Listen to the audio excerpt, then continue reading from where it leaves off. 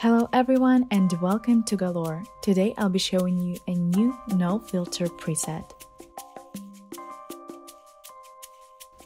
It's a free preset for Lightroom Mobile so you can download it right from your phone and all it takes is just one click to transform your pictures.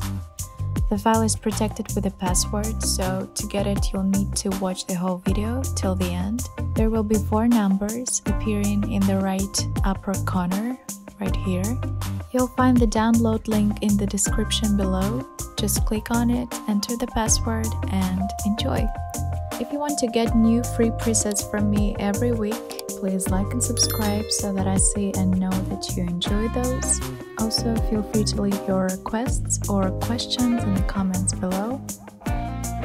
You can also visit my online store with exclusive presets that I won't be posting here on YouTube and premium bundles which you can download and get all of my presets at once and save your time. The link for it will be in the description below.